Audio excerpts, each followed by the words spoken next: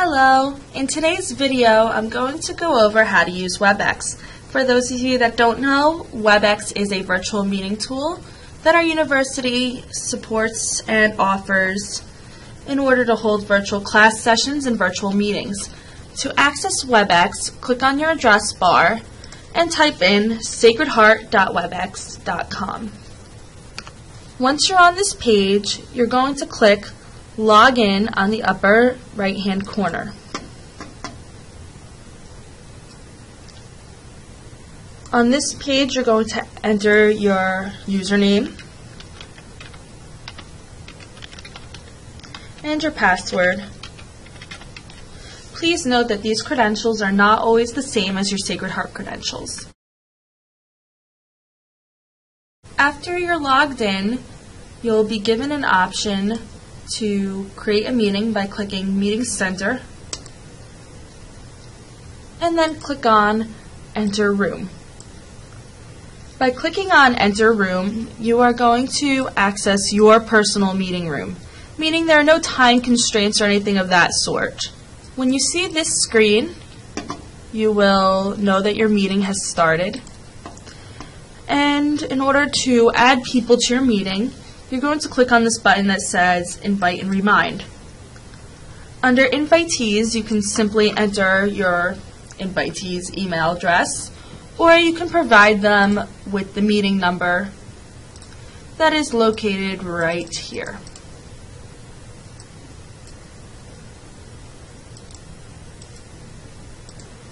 Once your participants have entered the room, you'll be able to see them on the participant list right over here. Obviously, since this is a demo, it is only me, myself, and I in this room.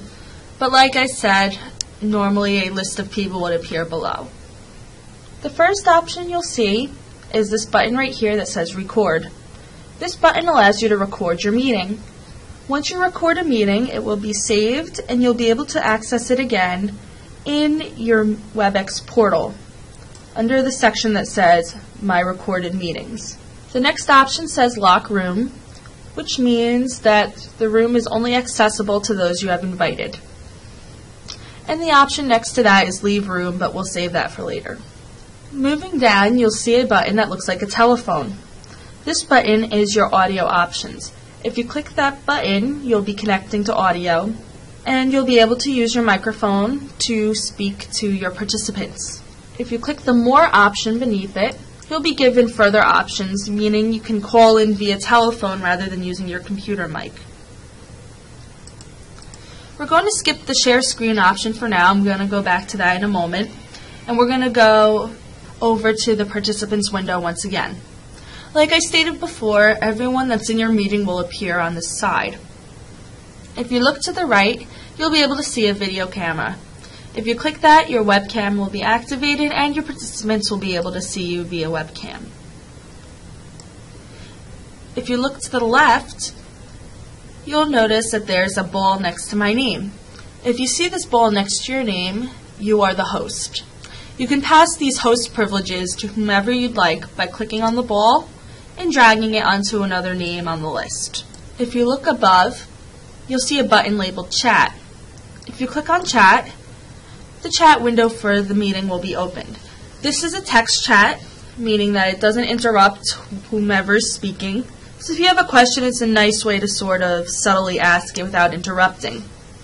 Now, in this chat window, you have the option to send it to everyone.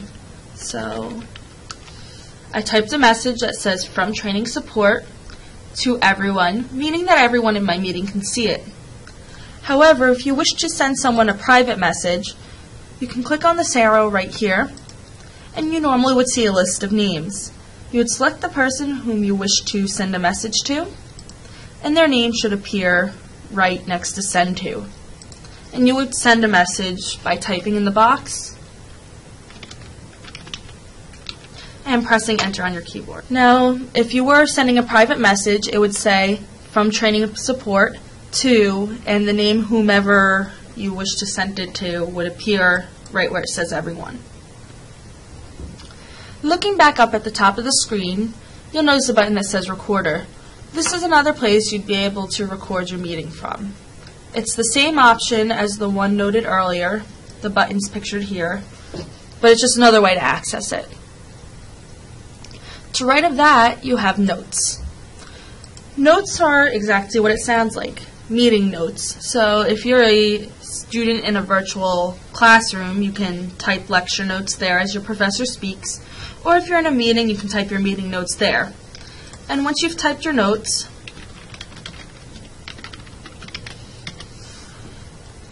you can click Save in the bottom right, and you can save these notes to your computer.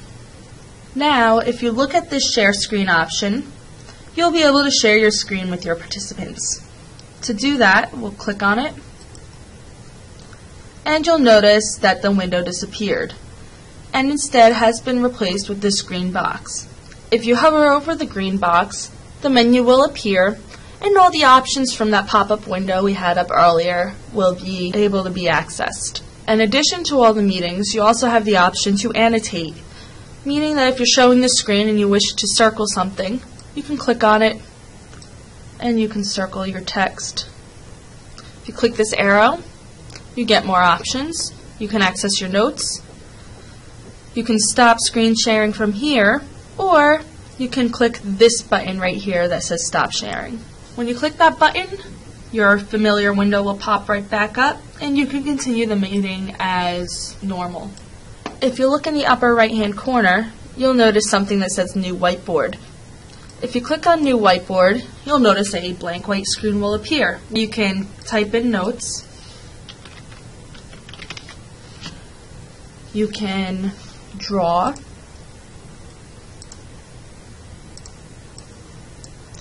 You can draw lines and sort of illustrate concepts to your participants. You can also allow your participants to annotate on the whiteboard as well by simply clicking on this ball that I mentioned earlier and dropping it in front of the name of the person you wish to allow to share. When you are finished, you can either click on Quick Start to get back that menu, and you can always toggle back and forth to your whiteboard, or you can close it out by clicking the X on the upper right hand corner of the tab.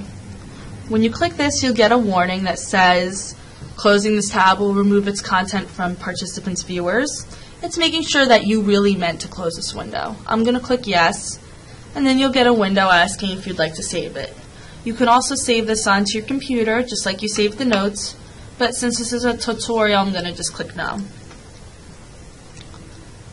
Now I'm going to click Quick Start to get this panel back.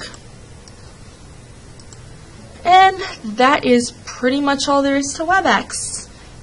I hope you enjoyed watching, and thanks for viewing.